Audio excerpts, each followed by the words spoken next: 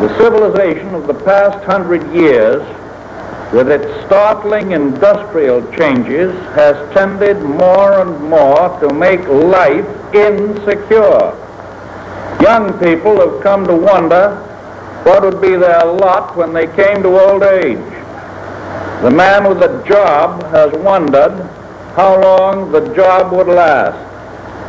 This social security measure gives at least some protection to 30 millions of our citizens who will reap direct benefits through unemployment compensation, through old age pensions, and through increased services for the protection of children and the prevention of ill health. All of these rights spell security.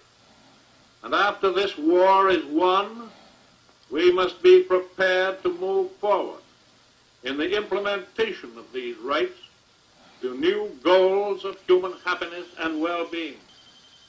For unless there is security here at home, there cannot be lasting peace in the world.